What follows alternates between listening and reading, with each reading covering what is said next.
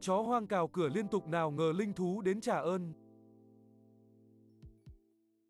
Động vật thực sự có khả năng dự đoán thiên tai. Một trận động đất với cường độ 5,5 độ Richter đã xảy ra tại huyện Bình Nguyên, thành phố Đức Châu, tỉnh Sơn Đông, Trung Quốc vào sáng sớm ngày 6 tháng 8. Đây là trận động đất lớn nhất ở địa phương này trong 10 năm qua.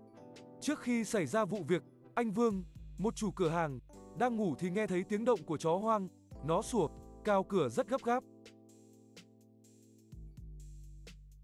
Lo lắng, anh bật dậy, không ngờ 10 phút sau lại có động đất. Hóa ra, chú chó hoang này đã gọi anh dậy để thoát hiểm. Theo anh Vương, chú chó hoang này thường xuyên xuất hiện tại khu vực cửa hàng của anh.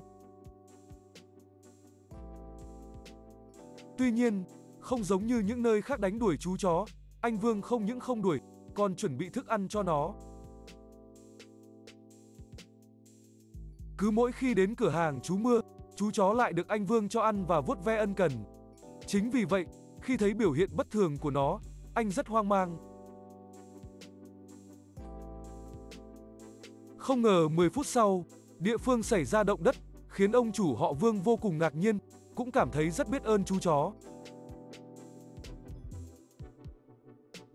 Trước đó, anh Vương đã nhiều lần cho chú chó đi lạc ăn. Anh rất cảm động khi chú chó hoang đã đến đánh thức anh trước trận động đất, đây giống như một hành động trả ơn. Sau khi câu chuyện của anh Vương được đăng tải, tính đến thời điểm hiện tại, đã có 2,6 triệu lượt xem, nhiều cư dân mạng cho rằng chú chó đã trả ông chủ, xin hãy nhận nuôi nó, nó cũng có thể giúp trông coi cửa hàng. Đúng là cứu vật vật trả ơn, thực sự cảm động, anh Vương xin hãy cân nhắc nuôi chú chó này, phải rất có duyên đó. Một bình luận khác của cư dân mạng. Cảm ơn bạn đã xem video. Nếu thấy hay hãy nhấn nút subscribe và theo dõi để ủng hộ kênh nhé.